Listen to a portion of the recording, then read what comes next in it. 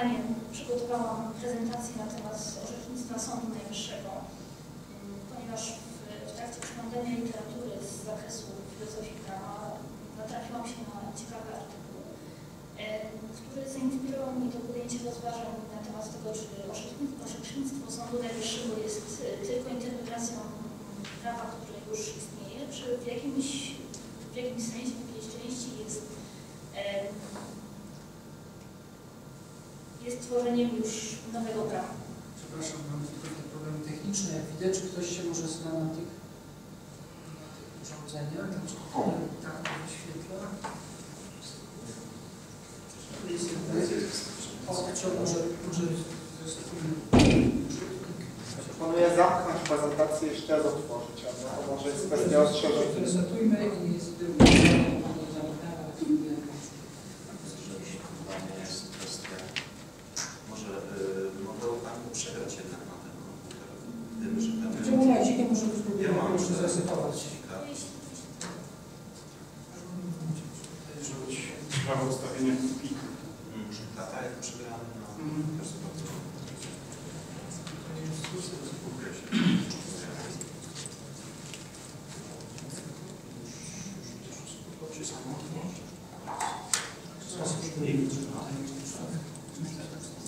bardzo. Kwestia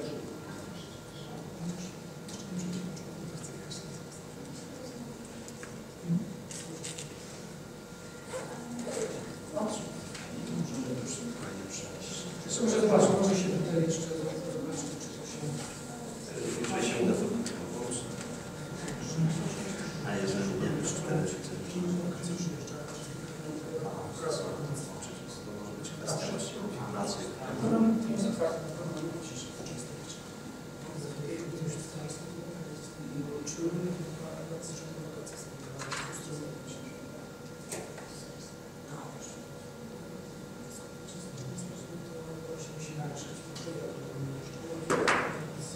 Dobrze, przegrali w tym czasie, jeżeli ktoś się gotowi.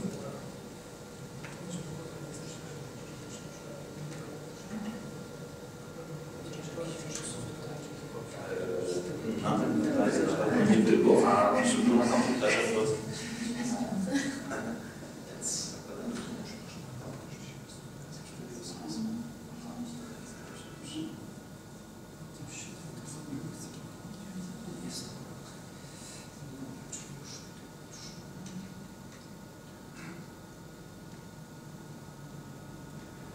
Dobrze, jaki to mam tytuł?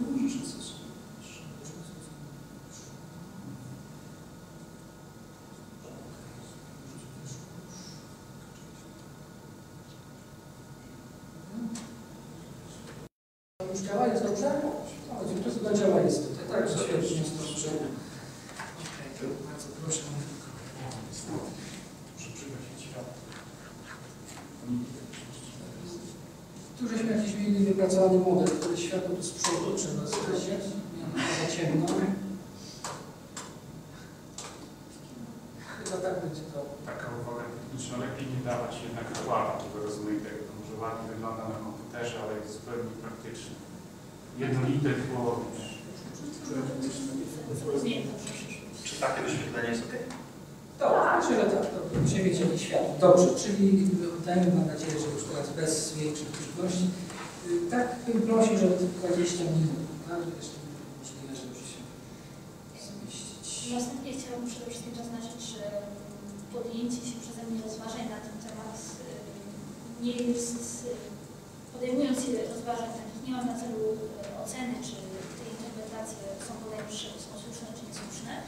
Chciałabym tylko zwrócić uwagę na to, że istnieją pewne orzeczenia, które są wyłącznie wykładnią bieżących i obecnie obowiązujących ustaw, a także z drugiej strony są e, orzeczenia, które nieco odstają, nieco wykraczają poza granice tych e, już istniejących ustaw. E, Treści kodeksów i ustaw są często niejednoznaczne, m, sądy powszechne nie zawsze skłonne są do podjęcia samodzielnych decyzji odnośnie wydania odpowiednich wyroków czy odpowiedniej interpretacji W związku z tym wtedy właśnie proszą o opinię Sądu Najwyższy. Mm, Ta opinia jest wiążąca teoretycznie tylko dla sprawy, co do której została wydana, jednak w praktyce dosyć często zdarza się, że sądy powszechne stosują się do mm, tego orzeczenia wydanego przez Sąd Najwyższy.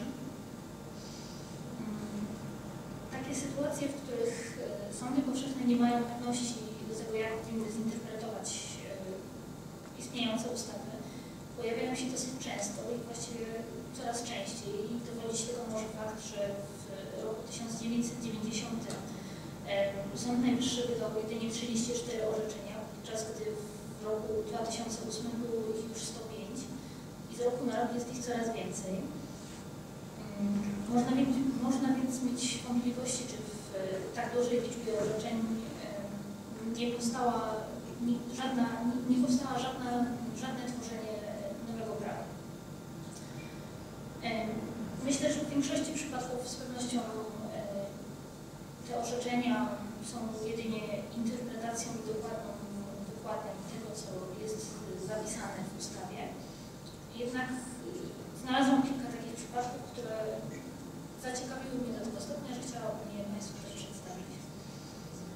Mm. Oczywiście niemożliwym jest dokonanie przeglądu wszystkich orzeczeń wydanych przez Sąd Najwyższy i w związku z tym stwierdzenie, ile rzeczywiście orzeczeń jest takich, w których można się doszukać tworzenia nowego prawa.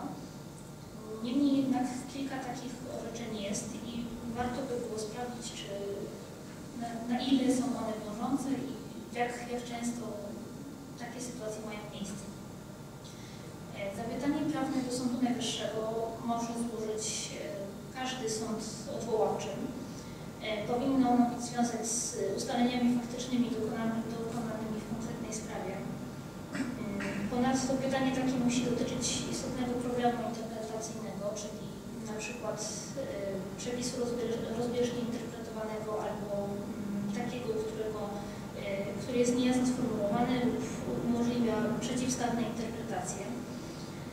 E, Pytanie prawne, które pojawiło się przy rozpoznawaniu sprawy, wymaga zasadniczej wykładni ustawy, czyli odnosi się do sytuacji, gdy jednolita odpowiedź jest mocno utrudniona, co jest mocno niekorzystne dla funkcjonowania prawa w praktyce. Z punktu widzenia filozofii prawa orzeczenia Sądu Najwyższego możemy podzielić na dwie kategorie, takie, tak jak już wspomniałam wcześniej, takie, które co do których nie ma wątpliwości, że są jedynie wykładnią prawa i takie, które, które zawierają coś więcej poza tym, co jest e, zapisane w ustawie. Pierwszym e, z takich dosyć oczywistych e, orzeczeń, które chciałabym zaprezentować, jest postanowienie dnia 27 kwietnia 2001 roku, e, które definiuje osobę zajmującą się cudzymi sprawami majątkowymi. W takim przypadku nie trudno o zdanie, że mm, taką osobą jest ktoś, kto faktycznie dba o majątek innej osoby, chroniąc go przez, przed uszkodzeniem bądź utratą. Dokładnie takie samo zdanie przedstawił Sąd Najwyższy, który stwierdził, że za osobę zajmującą się cudzymi sprawami majątkowymi można uznać tylko tego, kogo obowiązki i uprawnienia obejmują łącznie zarówno dbałość o uchronienie, powierzonego mienia przed uszczerbkiem, zniszczeniem lub zagubieniem, em, pogorszeniem stanu interesów majątkowych, jak i wykorzystaniem tego mienia w procesie gospodarowania w taki sposób, aby zostało ono powiększone lub wzrosła jego wartość. W tym przypadku raczej nie ma wątpliwości co do tego, że, mm, że, tak, że taka interpretacja być, ponieważ nie zachodzi tutaj żadna, żadne wykraczanie poza granice tego, co zostało zapisane w ustawie. Drugim przypadkiem, który chciałabym omówić jest uchwała z dnia 27 marca 2001 roku. Znaleźć tutaj można zapis w razie skazania za zbiegające się przestępstwa na karę pozbawienia wolności z warunkowym zawieszeniem jej wykonania i bezwarunkowego jej zawieszenia, orzeczenie kary bezwarunkowego zawieszenia jej wykonania w wyroku łącznym nie jest dopuszczalne. Tutaj właściwie też nie zachodzi żadna interpretacja ponad to, co zostało zapisane w ustawie, ponieważ logicznie można wywnioskować, że dokładnie tak powinno być i że rzeczywiście mm, wyrok łączny nie powinien tutaj zostać wydany. Oba przytoczone przeze mnie przykłady wskazują na to, że Sąd Najwyższy wydając orzeczenia kieruje się wyłącznie już ustanowionym prawem i wyjaśnia jedynie zaistniałe wątpliwości. E, Nie zachodzi tutaj żadna nadinterpretacja, nie zachodzi w żadnym wypadku tworzenie nowego prawa. Mm, Większość opinii Sądu Najwyższego wygląda właśnie w ten sposób. Jednak e, myślę, że kolejne orzeczenia, które chciałam przedstawić, troszeczkę wyjaśnią to, co miałam na myśli, przygotowując taką prezentację. Pierwszym z tej drugiej kategorii orzeczeń jest uchwała z dnia 17 marca 2005 roku, e, która mm, definiuje czynność podrobienia dokumentu. Kiedy słyszymy stwierdzenie podrobienie dokumentu, przeważnie mamy na myśli wytworzenie czegoś nowego, jakiejś nowej rzeczy nieistniejącej wcześniej, która swoją formą i wyglądem będzie imitowała dokument mający moc prawną. E, Jednak w punkcie pierwszym uchwały możemy znaleźć zapis podrobienie dokumentów w rozumieniu artykułu 270 paragraf 1 kodeksu karnego jest także potwierdzeniem przez uczestnika czynności procesowej fałszywym podpisem nieprawdziwych danych w protokole utrwalającym tę czynność procesową. Mm. No właśnie, tutaj pojawia się e, coś nowego ponad to, co zostało zapisane w, w ustawie, ponieważ e, z ustawy nie wynika nic takiego, że e, fałszywy podpis e, pod e, fałszywymi zeznaniami e, jest także podrobieniem dokumentu. I właściwie podejrzewam, że gdyby zapytać większość osób, może niekoniecznie znawców prawa w tej kategorii, ale zwykłych osób, które no, na co dzień nie mają styczności z prawem, mało kto odpowiedziałby, że fałszywy podpis może być również podrobieniem dokumentu. Kolejnym przykładem może być postanowienie z dnia 23 września 2009 roku e, definiujące znaczną ilość środków odurzających lub substancji psychotropowych. Do Sądu Najwyższego wpłynęło zapytanie, e, czy pojęcie znaczna ilość środków odurzających substancji psychotropowych użyte w ustawie o przeciwdziałaniu narkomanii e, obejmuje swoim zakresem znaczeniem ilość substancji psychoaktywnej wystarczającej do wytworzenia takiej liczby minimalnych porcji, e, która umożliwia odurzenie jednorazowo kilkudziesięciu, kilkuset, kilku tysięcy, kilkunastu tysięcy, czy też kilkudziesięciu tysięcy osób. Sąd Najwyższy stwierdził, że mm, jeżeli przedmiotem czynności wykonawczej jest taka ilość środków odurzających substancji psychotropowych, która mogłaby jednorazowo zaspokoić potrzeby co najmniej kilkudziesięciu osób uzależnionych, jest to znaczna ilość w rozumieniu tej ustawy.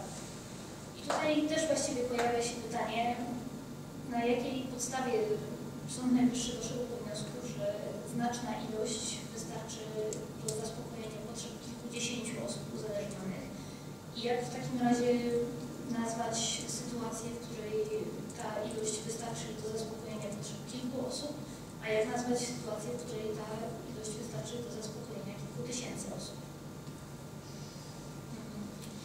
Kolejnym i ostatnim przykładem, na który chciałam zwrócić uwagę, jest karalność niealimentacji, a dokładniej okresu, po jakim y, niealimentacja staje się przestępstwem za- zapisanym w kodeksie karnym. Przytoczyć tutaj chciałam ustawę z dnia 9 czerwca 1976 roku, która co prawda odnosi się do starego kodeksu karnego, ale ma także swoje potwierdzenie na gruncie obecnie obowiązującego kodeksu karnego, jednak o tym może za chwileczkę.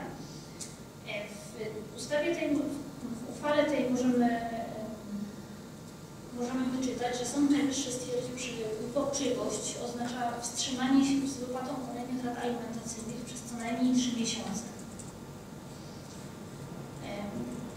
No i właściwie też nie wiadomo, dlaczego akurat 3 miesiące, dlaczego nie są to 2 miesiące i dlaczego nie są to 4 miesiące. W każdym razie opinie Sądu Najwyższego są wiążące. W związku z czym na gruncie obowiązującego prawa przyjął, przyjął się okres 3-miesięczny. Em, Potwierdzeniem na 9 e, obecnie obowiązującego kodeksu karnego jest wyrok z dnia 8 grudnia 2008 roku, e, w którym Sąd Najwyższy przyjął, że okres niealimentacji obejmujący dwa miesiące nie spełnia ustawowego znamienia uporczywości. Mm, tak więc zarówno uchwała, jak i wyrok w tej sprawie nie są wyłącznie interpretacją już e, istniejącej i obowiązującej ustawy ponieważ w ustawie nigdzie nie możemy znaleźć konkretnego zapisu i tak konkretnego podania terminu. E, Czy w związku z faktem, że niektóre zapytania prawne wymagają od Sądu Najwyższego odpowiedzi nie wynikającej bezpośrednio z treści ustaw, e, można przyjąć, że sąd ten tworzy nowe prawo? E, To pytanie pozwolę sobie zostawić bez odpowiedzi, ponieważ można to rozumieć dwojako. Z jednej strony mm, rzeczywiście w orze- orzecznictwie pojawiają się elementy, których nie sposób odnaleźć w ustawach, natomiast z drugiej strony z pewnością nie są one jedynie pustym zdaniem składu orzekającego i mają jakąś swoją podstawę. Mm, Jak wynika z przytoczonych prze- przeze mnie przykładów, y, przepisy zawarte w ustawach nie zawsze są tyle wyraziste, że można bez wątpliwości zrozumieć definicję, czy dokładnie określić y, na przykład znamiona przestępstwa. Dlatego zadaniem Sądu Najwyższego jako największego autorytetu prawnego w kraju jest udzielenie konkretnej odpowiedzi, która stanie się kanonem postępowania przez y, sądy powszechne. I teraz pozostaje. Dziękuję bardzo.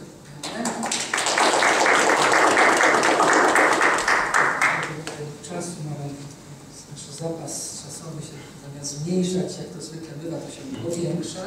Bardzo dziękujemy za też tutaj możemy taką dyscyplinę wypowiedzi. Otwieram dyskusję, zapraszam do zadawania pytań.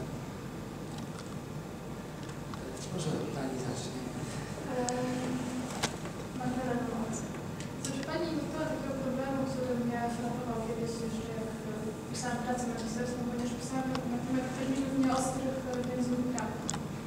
E, Te przykłady, które, przynajmniej dwa, dwa ostatnie, e, to są przykłady e, właśnie próby zinterpretowania przepisów, które są nieostre, typu tak znaczna ilość substancji i ten okres alimentacji. Uporczywe zgodnie z nieobowiązywanie, tak? To jest, no to prawnicy nazywają to czy, czy klauzulami generalnymi, jest nieważne. Są generalnie terminy, które są nieostre, i których zakres trudno jest e, e, rozróżnić i właściwie no właśnie, filozofia języka, to było przedmiot mojego, mojej, e, e, mojej pracy, że zastanawiałam się nad tym, czy filozofia języka może w jakikolwiek sposób pomóc dookreślać tego sposób właśnie, który nie byłby arbitralny, tak? To znaczy nie, nie polegałby po prostu na powiedzeniu, że znaczna ilość to jest kilkadziesiąt, odłożenie kilkudziesięciu osób, czy kilkuset, czy też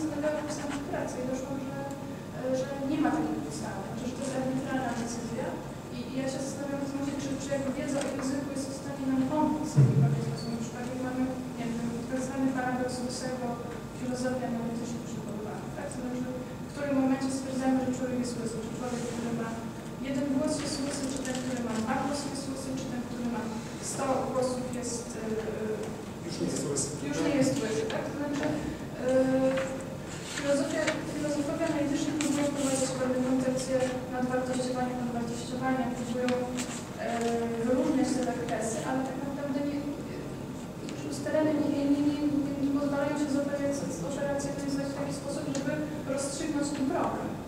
Wciąż ktoś musi podjąć decyzję, od którego momentu będziemy uważać, że to jest łysy, od którego nie. I nie widzę jakby w innych naukach i co, jakby ratunku przed arbitralnością. Myślę, że sądy nie mają żadnych podstaw e, wiedzy na temat, e, poza pewną potoczną intuicją, e, podczas podejmowania takich, e, takich e, podejmowania takich decyzji i to jest, e, no i to oczywiście dla mnie wciąż jest e, zastanawiające źródło takiego wielkiego niebezpieczeństwa właśnie tej arbitralności, której wydaje mi się, że trudno, że nie można jej usunąć. Ona jest wpisana po prostu w tę, w tę praktykę rozstrzygania sporów e, sądowych.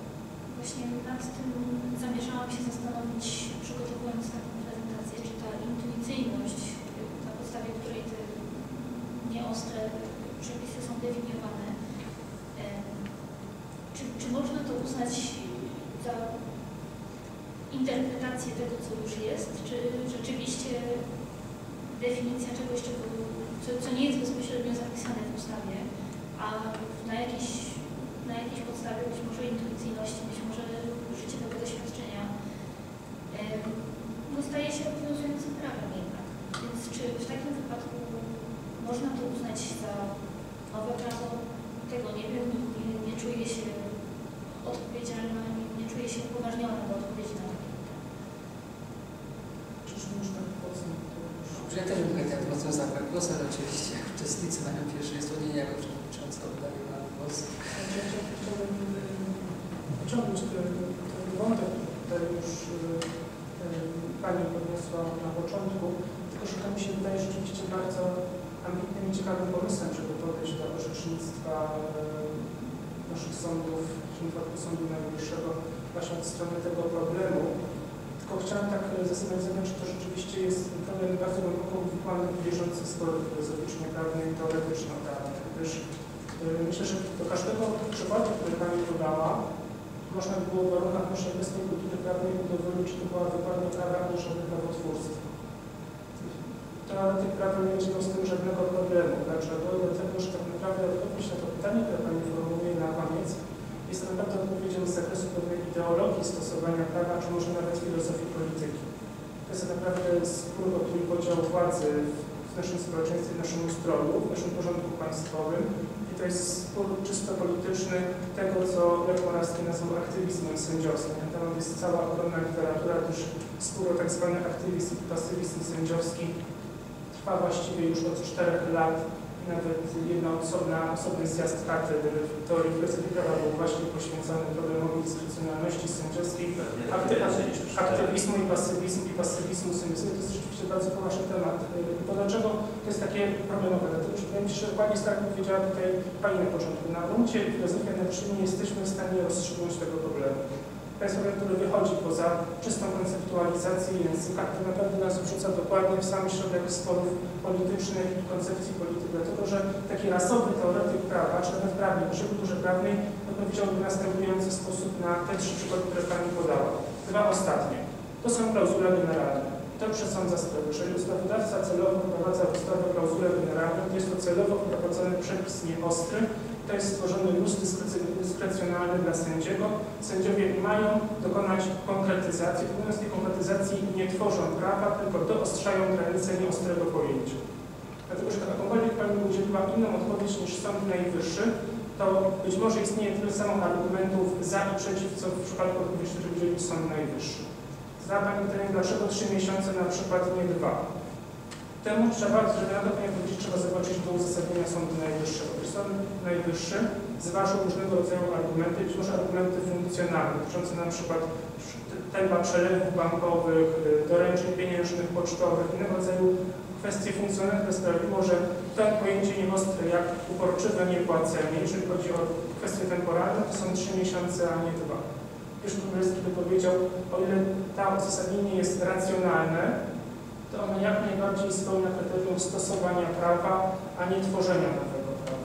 Natomiast ciekawy jest ten pierwszy przykład z podrobieniem dokumentu. Powiedziała Pani, że podrobienie dokumentu to jest wytworzenie od początku czegoś, co nie powinno być dokumentem. No ale skąd my to wiemy? Przepis kodeksu karnego mówi tylko podrobienie dokumentu.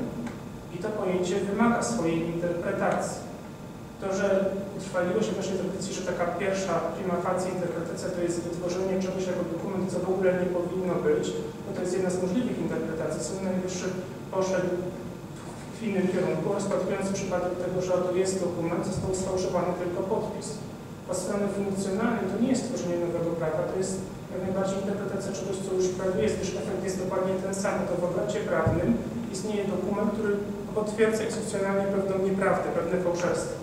Dla prawnika czytelny jest i przypadek od początku do końca wyprodukowanego, wyprodukowania dokumentu, którego nie powinno być, jak i podpisanie dokumentu, który powinien być w aktach stale fałszywym podpisem.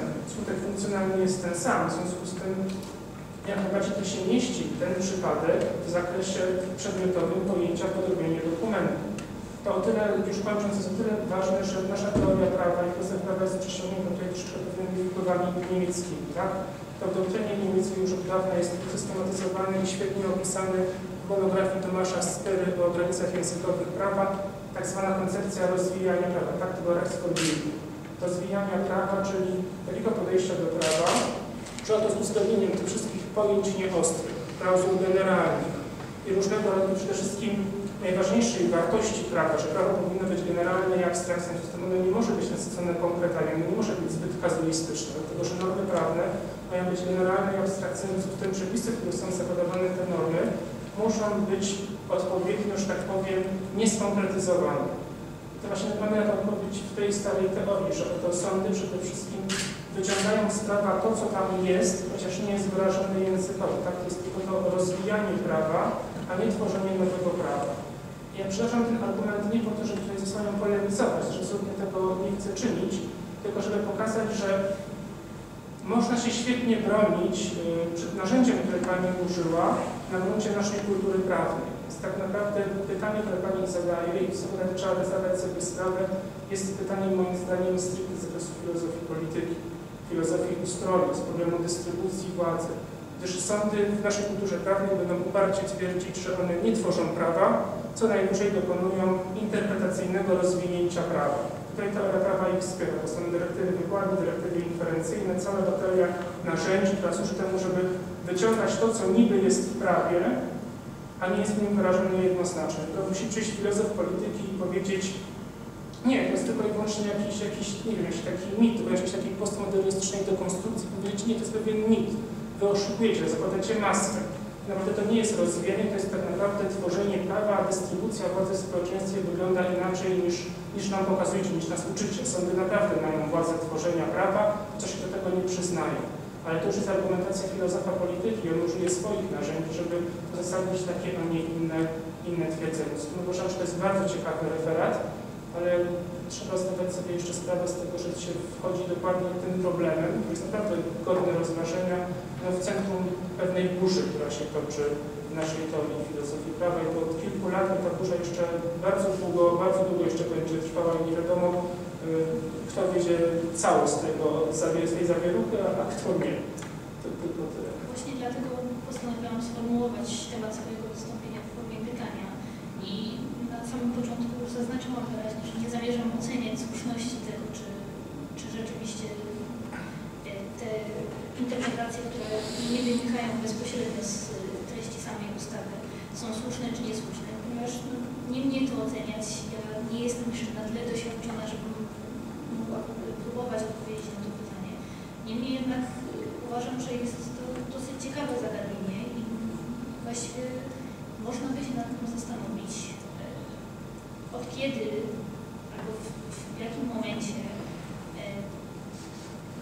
10 może nie robić, czy ono w ogóle się pojawia?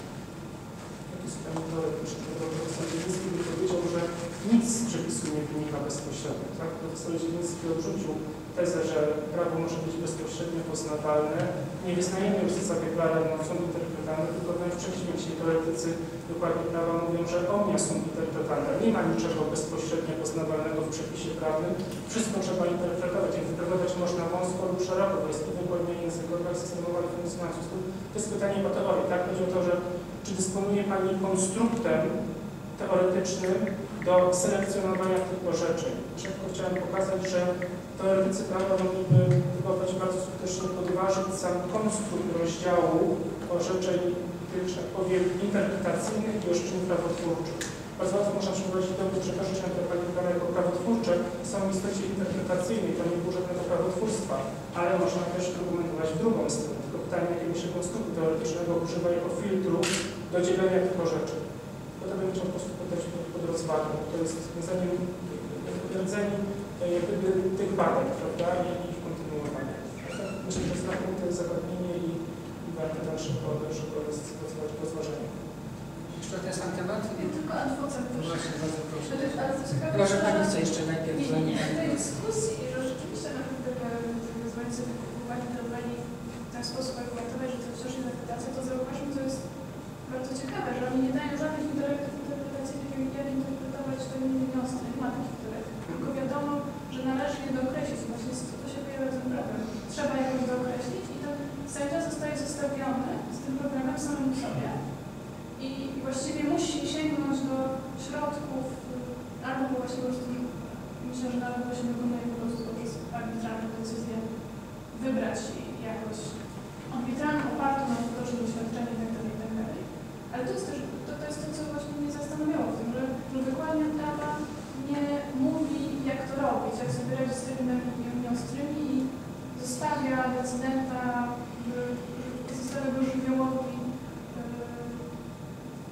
y, rozstrzygnięcia. Wątpliwości, tak? Wątpliwości, tak. I wątpliwości. rozstrzygnięcie, on zostaje pozostawiony samemu sobie właściwie nie jest w stanie specjalnie dać pewnie przekonujące odpowiedzi, dlaczego wybrał liczbę 3, a nie 5. Też tylko odpowiedź, czy raz jedno zdanie Pani powiedział, że teraz profesor Stawecki opublikował właśnie artykuł, gdzie próbuje trochę jak gdyby przyłapać teorię wykładni prawa na tym, e, gdzie właśnie jest ta pomoc. No i tu oczywiście pomoc jest, że tak powiem, najbardziej słaba, gdyż teoria prawa tak naprawdę proponuje w tym momencie wykładnię funkcjonalną, czyli tą wykładnię, która jest najmniej usystematyzowana, tam dyrektywy wykładni są najbardziej same w sobie nieostre, mgliste, to jest właściwie najsłabszy, że tak powiem, z tych trzech modułów, język, system, funkcja, najsłabiej opracowany moduł narzędzi interpretacyjnych. W związku z tym odpowiedź, która się nasuwa i to właśnie bardzo ciekawie profesor Starecki pokazuje w tym tekście, to jest tylko to, że w przypadku pojęć nieostrych teoria wykładni prawa proponuje używać pewnych kryteriów negatywnych, na przykład y, dyrektywę argumentum ad absurdum, tak? Tak interpretuj, żeby to, co interpretujesz, nie było absurdalne ale to jest jak gdyby tylko jak gdyby klucz negatywny, czyli pozwala on jak gdyby z tej nieostrości wykluczyć pewne rzeczy jako absurdalne albo właśnie niezgodne ze zdrowym rozsądkiem. Tutaj Pani też wspominała właśnie o tym, o tym, o tym dodatku. Tutaj Pani powiedziała, że y, niezgodne, rażąco niezgodne z doświadczeniem życiowym, ale jest taka selekcja, która pozwala trochę zawęzić tą nieostrość, ale w tym rodzeniu tej nieostrości jednak trzeba dokonać tego arbitralnego wyboru. To jest tylko kryterium negatywne, nie ma pozytywnego narzędzia likwidacji tej nieostrości, ale jest teoria wykładni coś proponuje, chociaż to coś jest ciągle bardzo niedoskonałe. Dobrze, Dziękuję. To ktoś, że chce adwocem, bo ja myślę, jest prawie zabrać głos. To znaczy, ja bym chciał e, delikatnie podsumować wypowiedzi moich e, przedmówców. Moje nazwisko Bielecki, jest, reprezentuję e, Uniwersytet Jagielloński Wydział Prawa. E, znaczy, głos zabieram przede wszystkim dlatego, że moim promotorem jest profesor Płeszka, więc osoba związana z wykładnią. I tutaj chciałbym się odnieść do wypowiedzi Nieszmagi. Znaczy, moim zdaniem e, tutaj nie wszystkie przykłady przytoczone jako taka e, forma tworzenia prawa są dla mnie przekonywające. Pewnym remedium dla mnie jest to, od czego Pani jakby na początku chciała uciec, czyli duża liczba orzeczeń. prawda, których nie można w jakiś sposób objąć warsztatowo. Wydaje mi się, że tych orzeczeń nie jest aż tak dużo, aby jakby nie móc nie wejść głębiej, poszukać jakichś innych e, przykładów. Bowiem faktycznie e, taka wyznaczenie linii demarkacyjne pomiędzy tą interpretacją a tworzeniem prawa bardzo często jest, jest e, no, bardzo trudne. Oczywiście technika legislacyjna i pewna ekonomika kodeksów sprawia, że wszystkiego do kodeksu nie damy rady zmieścić, prawda? I tutaj jest rola sądów, e, aby e, bardzo często jakby wychodzić poza to, e, co jest w treści kodeksu czy ustawy. No i oczywiście tego typu decyzje są jakby taką arbitralną decyzją sędziów i wypadkową jakby składu sędziowskiego. Nierzadko, prawda, te uchwały się później zmieniają, są, prawda, jakieś rozbieżności w samym składzie, dlatego właśnie wydaje mi się, że najlepiej, mm, jeżeli Pani by chciała jakby w przyszłości się tym zajmować, to jest dokładnie przeanalizować większą liczbę orzeczeń i poszukać tam e, no, takich jakichś bardziej e, jaskrawych przykładów, na, e, które pomogą Pani sformułować odpowiedź na postawione pytanie. Dziękuję bardzo. Dziękuję. Jeszcze ktoś odwraca tej sprawie? Znaczy ja może też kilka takich uwag, nie wiem, czy dobrze uporządkowanie, bo rzeczywiście zagadnienie jest, powiedziałbym, koszmarne. Ja też brałem udział w takiej dyskusji w przeglądzie sejmowym, dyskusja poświęcona. Proszę, widział. Yy, Znaczy moja pierwsza refleksja jest taka, skoro jest burza, to burza przez parę lat, już przez parę lat i nie ma wniosków, to ja myślę, że to jest bardzo silny sygnał, że jest bardzo poważny problem, że pewne rozróżnienia przede wszystkim zostały uczynione. No, bo dopóki właśnie nie, ma jakiegoś, jakiegoś konsensu choćby w czym jest problem, bo ja cały czas mam wrażenie, że ciągle w tej kwestii aktywizmu sędziowskiego nie mamy jasno sformułowanej kwestii tego, w czym leży problem. A to jest wyraźny sygnał, że czegoś brakuje, jakichś podstawowych rozróżnień, a to robota dla filozofa super. No, to jest żywioł filozofa. filozofa. To, to pierwsza uwaga. Druga uwaga, ja myślę, że y, znaczy moja, moja taka refleksja była taka, że te przykłady y, nie, nie wiem, czy one są rzeczywiście najlepsze do tego zagadnienia, żeby, żeby pokazać, gdzie w ogóle się pojawia tak na dobre ten problem, od kiedy jest już jakieś prawotwórstwo, a, a, a, a gdzie, a gdzie nie jest.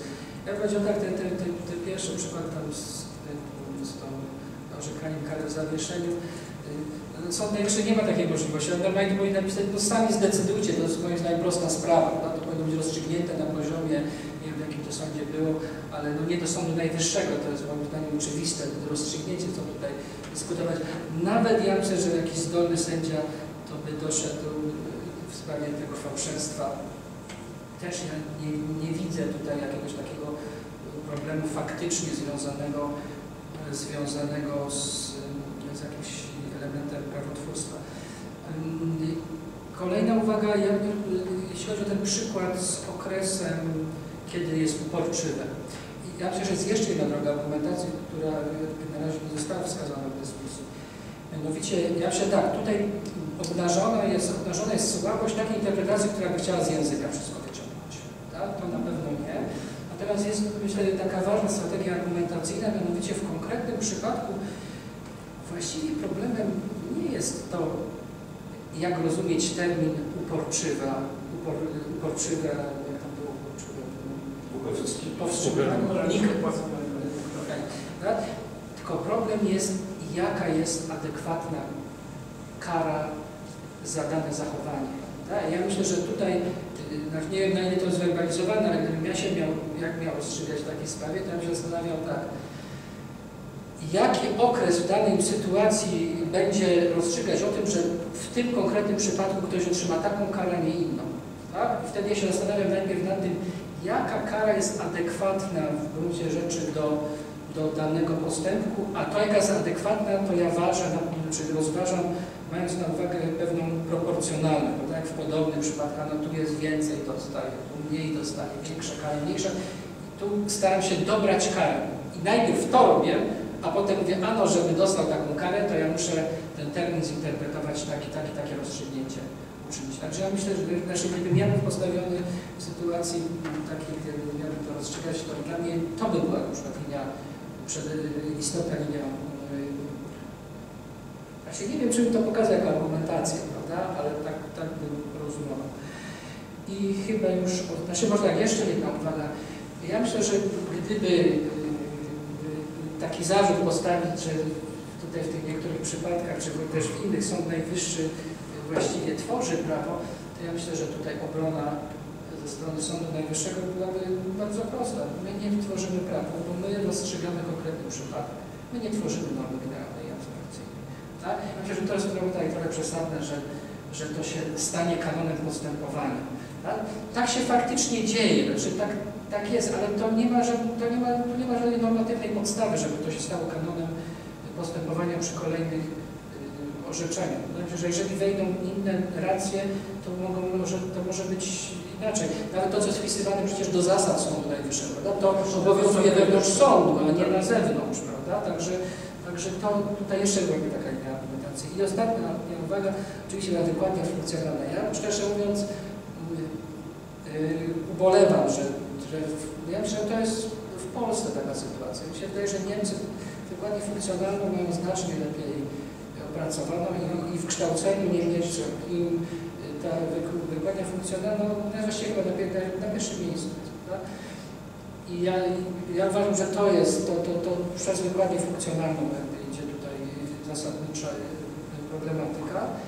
I teraz, wierzając do konkluzji, gdybym ja miał poszukiwać takich sytuacji, gdzie jest jakiś aktywizm sędziowski, ja myślę, że on przede wszystkim będzie w takiej sytuacji. Stosuję wykładnię funkcjonalną, co, muszę się odnieść do jakiejś wartości i teraz problem jest wtedy, kiedy mam jakąś wartość i rozstrzygnięcie treści tej wartości, rozstrzygnięcie co, dotyczące tego, jaka jest treść tej wartości, zaangażowane są spory ideologiczne albo światopoglądowe. Tak? Mam wartość życia ludzkiego, prawda? I robię w tej perspektywie wykładnię funkcjonalną. Tak? I teraz sąd musi rozstrzygnąć, okej, my tą wartość w jakiej, w jakim, jakiej perspektywie interpretujemy, jakiego światopoglądu. Tak? I ja myślę, że to są te punkty, które są najbardziej obiecujące, żeby znaleźć te, te elementy, ale i tak pozostanie to, co mówiłem wcześniej. Sąd Najwyższy powie, my rozstrzygamy konkretny przypadek, nie tworzymy norm generalnych abstrakcyjnych. Tak? Także taki był mój komentarz, ale jeszcze są dalsze pytania. Trochę żeśmy się wydali, ale mamy czas jeszcze. Dobrze, bardzo proszę. Ja chciałem Pani pogratulować wyboru tematu, bo zwykle jest tak, że Pani preferuje, a zadają pytania. Tutaj Pani postawiła pytanie, wszyscy się starają na nie odpowiedzieć. Rzecz jest bardzo ciekawa. E, ale wydaje mi się, że również e, dobrze znana i pewnie e, warto byłoby w tym kierunku prowadzić dalsze Pani poszukiwania. Pozwalam sobie na położenie, proszę mi za to wybaczyć. Chodzi o semiotykę prawniczą. To jest kwestia dobrze opisana, więc kwestia lub w prawie. Oczywiście mamy taką teorię, którą bierzemy w prawie nie ma, ale jednak większość e, w praktyce chyba teoretyków uznaje, że luki są i luki są trzech rodzajów. Luki techniczne, a więc e, mamy e, pewną normę, która nam mówi, jak mamy działać, ale brakuje elementów technicznych do tego, żeby tę e, normę e, stosować. E, Mamy luki tak zwane extra legem, a więc e, sytuacja nie jest uregulowana przez prawo pozytywne, ale z punktu widzenia pewnej wartości uważamy, że powinna być uregulowana i mamy najciekawsze luki, luki kontra legem, a więc prawo pozytywne stanowi jedno, a z punktu widzenia jakichś pozaprawnych systemów wartości uważamy, że powinno być inaczej. I właśnie w tym kontekście pojawia się problem e, aktywizmu sędziowskiego. Zresztą parę lat temu rzeczywiście w Polsce był profesor Schafer, który to e, w Stanach rozwija. Było takie spotkanie gdzieś tam e, w budynku chyba Naczelnego Sądu Administracyjnego, jeszcze są prowadzone. Zresztą gdzieś tam chyba z udziałem rzeczywiście profesora Moraw- Morawskiego te badania nad aktywizmem, to są prawnicy, nie pamiętam tych nazwisk, ale jest takie opracowanie z Uniwersytetu Warszawskiego i z Oxfordu, wspólne badania nad aktywizmem sędziowskim. E, bardzo ładne opracowanie, są przebadane chyba wszystkie za jakiś okres orzeczenia sądów administracyjnych pod tym kątem, czy, e, czy, czy, czy mm, prym wiedzie wykładnia językowa czy funkcjonalna. Więc to jest, to jest że z- z nawet tego można sięgnąć, e, Badanie jeżeli Pani do mnie profesora Moszczaka. to ja, ja odnajdę te dane, Pan, pan może bardzo służyć i to pewnie warto przeczytać. Ale wróćmy do tego. E, czyli y, kwestia aktywizmu, e, formalizmu, to tak się w literaturze anglosaskiej mówi, w kontynentalnej mówi się o zakresie władzy dyskrecjonalnej, prawda, to Francuzi lubią e, mówić e, prawnika, dotyczy tych dwóch ostatnich rodzajów ruch, a więc ruch ekstralegem i przede wszystkim ruch kontralegem. E, Te przykłady, które Pani e, przytoczyła, to są no, przykłady luk technicznych. Mamy normę, brakuje nam jednego elementu, co wynika z nieostrości. Czasami jest to nieostrość zamierzona, wówczas mamy do czynienia z klauzulą Niekiedy nie. To jest napisane w języku potocznym, z, z natury jest e, nie, nie, nieostry, niejasny, więc wymaga wyjaśnienia. I tutaj e, sąd, chcąc nie chcąc, musi coś dodać, a więc jest to zawsze rozbudowa prawa. Pytanie, czy to musi być e, robione w sposób arbitralny, czy może być niearbitralny. E, Większość z Państwa mówiła, że to będzie w sposób arbitralny robione z konieczności. No takiej konieczności chyba nie ma. Tutaj e, warto pewnie zerknąć do pracy na Bernarda Dworkina, który mówi, że w każdej sytuacji jest jedna optymalna, jest jedno optymalne rozstrzygnięcie, a gdy nam braknie norm danych przez prawodawcę, to sięgajmy do pozaprawnych systemów wartości i one nam odpowiedzą to jedno rozwiązanie. Czy rację ma Dworkin? No nie wiadomo, ale taka argumentacja jest możliwa i warto do tego sięgnąć. Mamy w Polsce e, wydanego Dworkina z przedmową Poleckiego, to jest świetna praca i, i świetny wstęp. Doradzam sięgnięcie do tego. To są rzeczy, które na pewno mogą się przydać w tej analizie. Chce Pani powiedzieć, bo to mamy już mało czasu. Jeszcze jedną monografię, znaczy to jest chyba monografia o tej pali funkcjonalnej. coś tam. Dokładnie, cena deszczowa. Gościa to też wszystko zaraz Ja chciałabym e, tylko powiedzieć tyle, że mm, pan profesor tutaj powiedział, że został postawiony zarzut, że Sąd Najwyższy tworzy prawo. I ja nie postawiłam żadnego zarzutu, ja jedynie zadałam pytanie, ponieważ zainteresowała zainteresowała mnie ta kwestia. I dlatego chciałabym wyjaśnić, być może porozmawiać z, z ludźmi, którzy są w tej kwestii bardziej doświadczeni ode mnie i mogli mi służyć y, podpowiedzią, ewentualnie wyjaśnieniem kwestii, które dla mnie są niejasne. Dlatego zadałam pytanie i chciałabym znaleźć na nie odpowiedź. Na nie odpowiedź. Czy zrobię to sama za jakiś krótszy, być może dłuższy czas, czy zrobię to z czyjąś pomocą. Niewątpliwie w jaki sposób będę się starała na to pytanie znaleźć odpowiedź. Mam nadzieję, że kiedyś mi się uda. Bardzo dziękuję. Musimy zamknąć w tym momencie dyskusję.